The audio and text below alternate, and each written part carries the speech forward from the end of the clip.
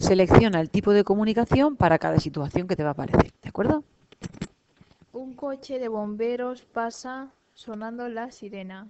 Mm, comunicación ve- verbal.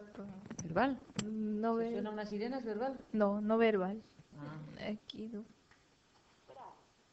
Escuchar una entrevista por radio verbal. radio. Por la radio verbal.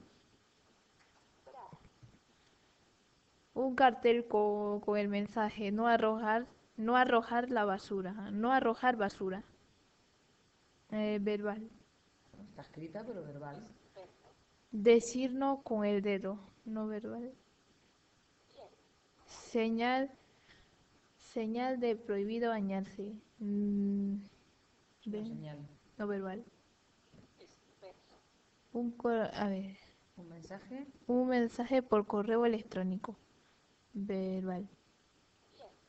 Decir sí con la cabeza. eh, pues verbal. Decir sí con la cabeza. No, verbal. No. El aspecto de un. Lee bien. No, el pros- prospecto de un medicamento. Eh, mm, ver- no verbal. ¿No verbal por qué? Mm, verbal, ¿Por qué es verbal? Porque está diciendo a tu- Está escrita. La comunicación verbal puede ser oral o escrita y el medicamento es un prospecto, es una comunicación escrita. ¿De acuerdo?